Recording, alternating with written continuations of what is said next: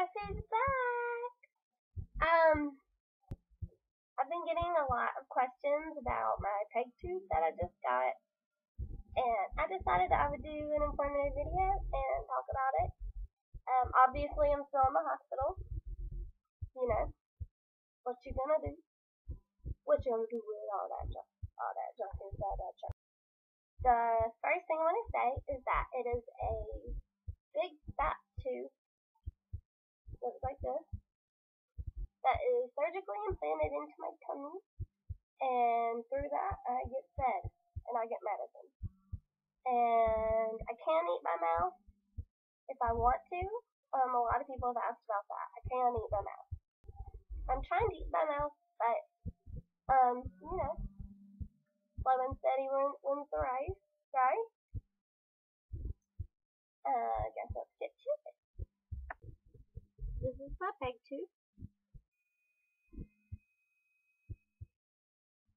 This is the scar from when they had to take out some of my intestines. This is the tube. It goes all the way into my tummy. And see it's kind of stitched the top.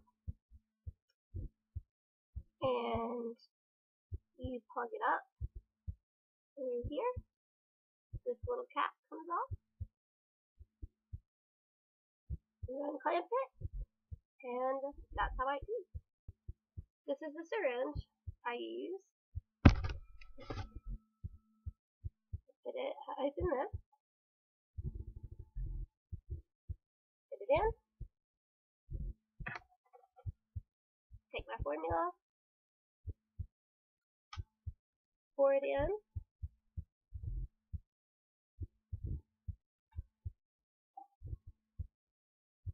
non-clamp.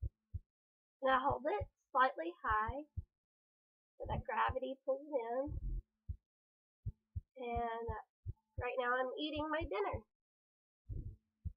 So look at how swollen my tummy is. So that's how it's done. I hope this was informative and helpful. I love you all.